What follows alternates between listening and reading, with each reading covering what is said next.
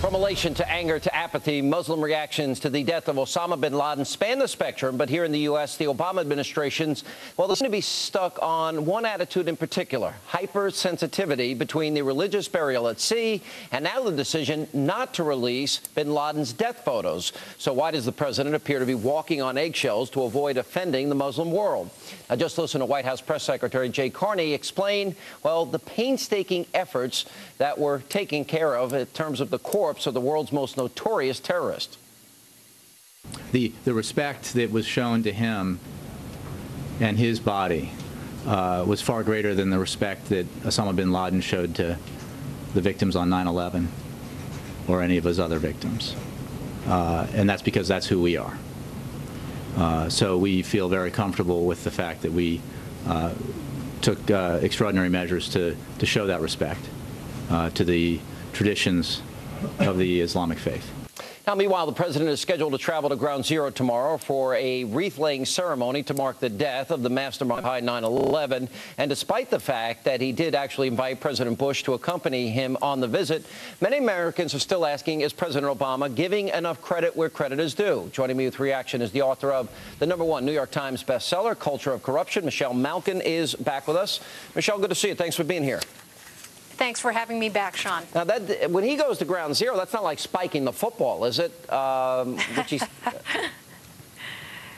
mean, that's a question. Uh, well, it, you know, it, it, sort of is a, a, victory dance that he's doing in a way, and I think uh, that that particular phrase um, sort of grated many Americans the wrong way um, because this is a man who didn't seem to have a problem with all of the young Obama supporters outside of the White House on Sunday night cheering, many of them profanely and, and essentially spiking the football. Mm -hmm. um, and, and why shouldn't we? Uh, this is 10 long years in the making, um, and uh, Sean, you've been very gracious yourself about uh, giving Obama the credit that he does deserve. But of course, in the ensuing uh, hours and, and, days since that Sunday night uh, announcement, uh, there have been a lot of missteps and bungling, uh, obviously, with regard to the so-called narrative about what really happened.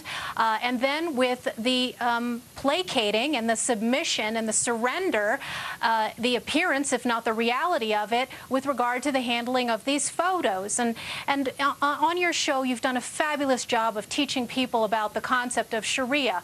And there, on the flip side of that same coin is another concept that every American should be aware of and be able to articulate, and that is the concept of dhimmitude. In other words, subjugation to the Sharia enforcers. And part of that, as we've seen from the Muhammad cartoons onward, uh, is this idea that you need to self-censor in order to appease the so-called called sensitivities of so many jihadi practitioners who have been inflamed for hundreds of years and centuries. It's not like the release of these photos is going to inflame yeah. them already uh, any more than they already right, are. Let me ask you, uh, let me go back to the issue of President Bush here for a minute. And I think this is important. Mm -hmm. The president's been lecturing us. This is a moment we can all come together once again. Um, if he had his way, this is just a fact. We always had the means to take out bin Laden. We just didn't have the intelligence. But because of enhanced interrogations, even Leon Panetta suggested that was a part of the success, uh, because of, of Gitmo, rendition, black sites, tough interrogations, you know, the very things that he was referring to as torture the very things that Eric Holder was investigating for possible prosecution of, of CIA operatives.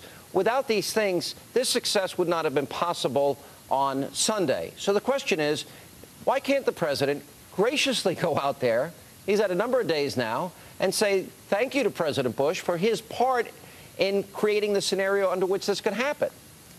Well, that's the least he could do. And my column today imagines what a truly unifying, truly gracious speech would be. And it would have been wonderful to see the two of them together. Of course, it's never going to happen. Um, and I made that clear in my not so uh, gentle sarcasm in, in, in the column that I wrote today on this, where I urged President Obama to show unity rather than just tell and preach it. And it, it would be the least that he could do to acknowledge the structures that were put in place by the Bush administration, the relentless criticism and demonization, uh, Yeah. not just suffered by President Bush, but all of his top officials at the Pentagon, at the Justice Department. There are some of his Justice Department uh, heroes who today get dogged by some of these unhinged leftists in their private homes, get dogged by some of these zealots uh, still uh, trotting around in their Gitmo orange suits. Uh, Well, and as I uh, well, let me just, Yeah. uh, uh, there's Yeah. one more point I want to make because I really definitely want to throw Jay Carney's words right back at him, Sean. He said there's no one single act that led to uh, the capture and killing of bin Laden.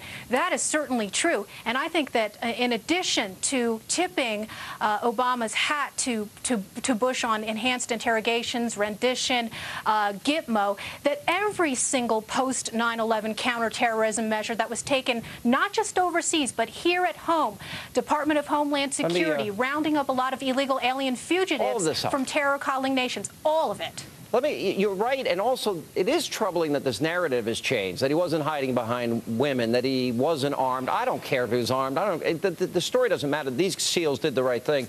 And the same issue with not releasing the pictures. I think a big mistake. But I want to ask you as it relates to the, the funeral on a U.S. warship, on an aircraft carrier. Because, you know, first of all, we're told bin Laden is not a Muslim that he has basically hijacked a religion, religion perverted a religion, uh, which I agree with. I, most Muslims, I don't think, agree with him, but we do have radical Islamists, and we've got to deal with them. We're at war with them. But they did this according to Islamic law. They, uh, that, that was the purpose of this. And they buried him at sea within 24 hours, thought they were practicing and following through on it. They cleaned his body. Feel sorry for the guy that stuck with that job. Uh, they wrapped him in a shroud. 45 minutes, apparently, of a funeral, uh, translated into Arabic for a guy that's not even Muslim, according to the president, correct? Yeah, that's right. Uh, there's a lot of uh, illogic, dhimmitude illogic going around, and this certainly is a big part of it. And and you're you're absolutely right, Sean, to point out um, these inconsistencies in treating this man who warped a religion by those same uh, religious standards that he warped.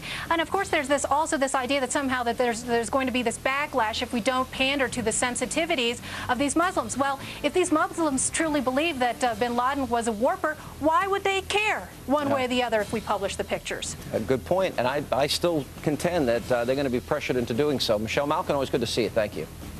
You bet. Thanks. All right, thanks. Let not your heart be troubled. Our great, great, great American panel is next.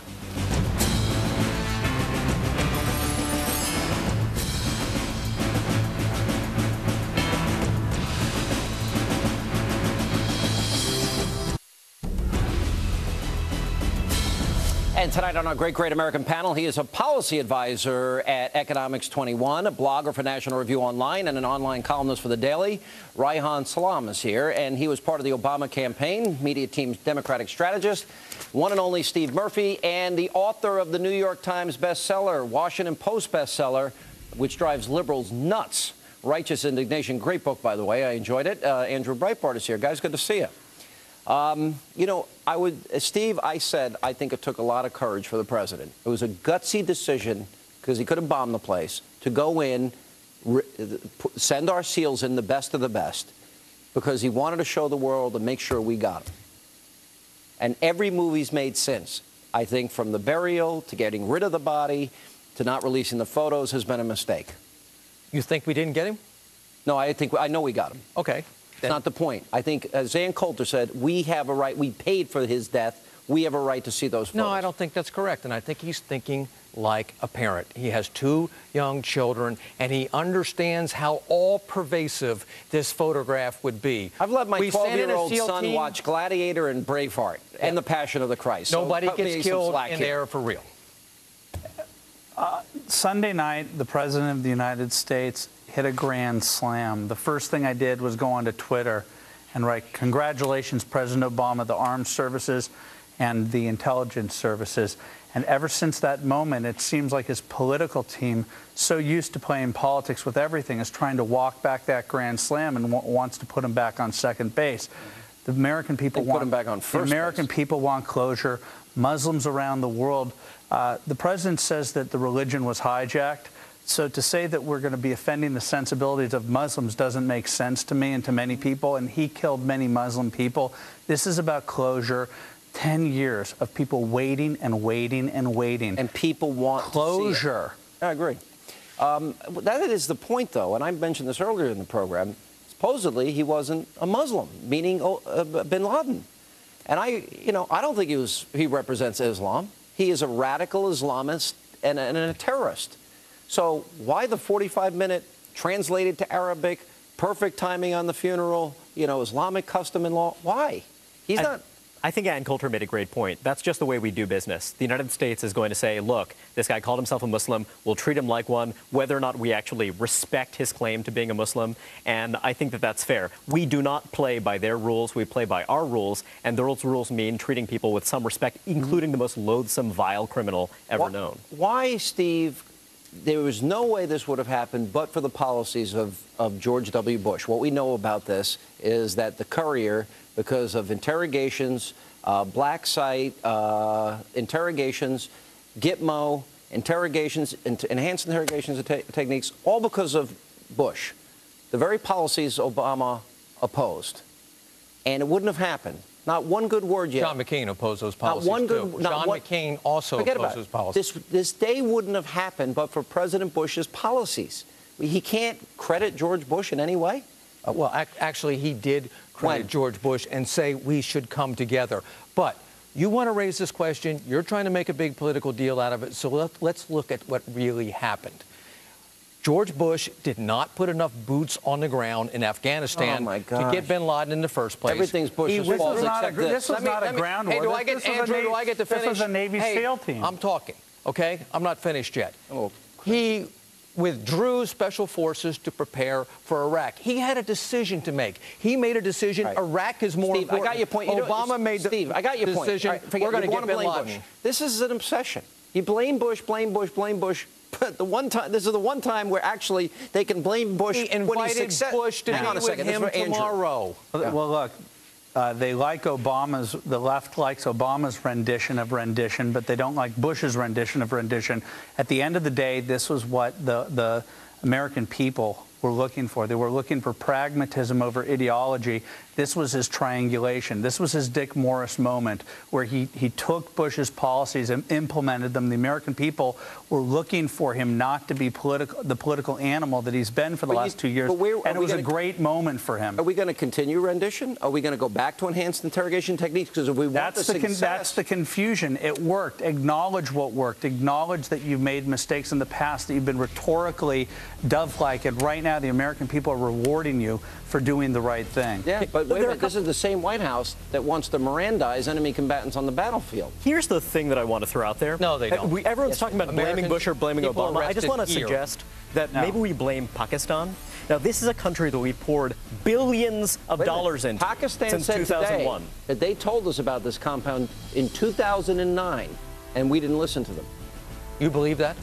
You believe Pakistan? Telling you, I'm, I'm you believe these people? You believe the I think ISI? we should investigate it. Oh, of course we should I think we investigate should- it, but you do know the truth? believe the ISI? You know the truth. I know the truth is, is they've been playing a double game for decades That I now. believe. I'm not actually. Well, we also. I've Actually- reported, and nobody has denied it, that Mullah Omar was captured by the ISI last year, uh, and, I, and they need to be honest. All right, we're going to come back more with our great, great American panel as I throw to the one and only. Am I allowed to say your name?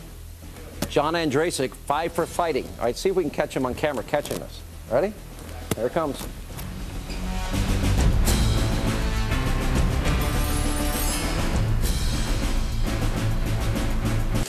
And we continue with our great American panel. Uh, uh, Rashard Mendenhall of the, of the Steelers tweeted that what kind of person celebrates death? It's amazing how people can hate a man they have never heard speak. Well, we've heard him speak. We've only heard one side. I, I, I heard those comments. I was stunned. What do you think? Wow. Well, I think he's going to get a lot of flack for it. And I think that we need to remember, I mean, you know, he's a pretty young guy, and he's probably going to regret what he said. So I'm Well, he's since cut him some apologized, slack. but Yeah, there you go. yeah, but I wonder, you know, what is wrong with athletes? If, if you're going to say something, think through it a little bit. No, this is this is Hitler. This is Tojo. There's no there's no moral ambivalence about it whatsoever. He deserves to be dead. Leave tweeting to the professionals like Breitbart here. Yeah, Breitbart. Yeah, I would never tweet anything intemperate. No, no. I, I'm sitting here, I go, please don't talk about Twitter gentle, and, gentle and soul who would pressing say such a things thing. like that. Can you say one good thing? And I don't want to hear your lectures about about Iraq and about George W. Bush. Can you say one good thing that Bush did to contribute to what happened on Sunday? Yes, I believe that George Bush, from the time of 2/11 uh, 9/11, did everything that he thought was right to keep us safe. I think that he made a terrible Did this contribute to what happened on Iraq, No, but I that's not my believe that he thought he was doing what was right. Did he, did his policies contribute to the success Sunday night? It has been a 10-year This is killing effort. you. It's been a 10-year effort. But George W. Bush's policies contributed, without which his policies, we wouldn't have had the success Sunday night.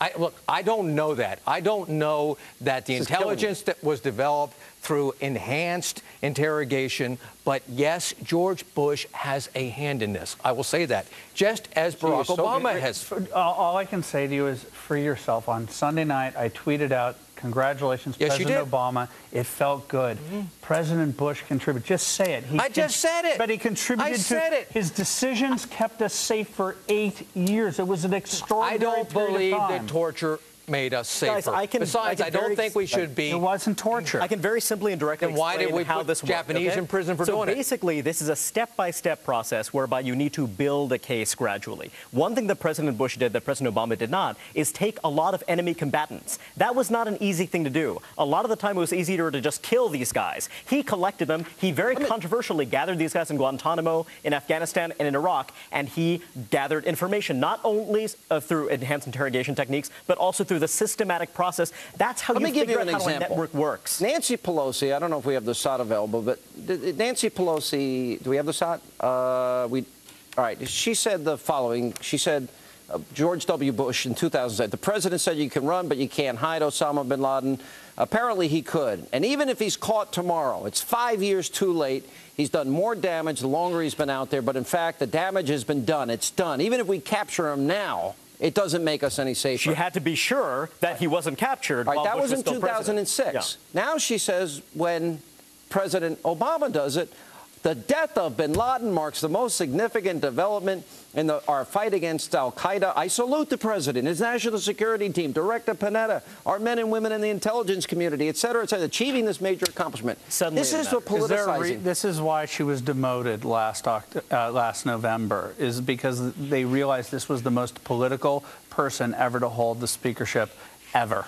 Yeah, I agree. No, we lost because of the economy. It didn't have anything to do with this, but I believe she That was, was wrong in 2006 That was the when she said that. I believe, as I said before, She's wrong in 2006, Bush, but she's right everything today. he did, he did to try to make America safer. He just made a terrible decision about All right, I got you said that four times. But the point is, what does this say about her? She's nothing but a political hack.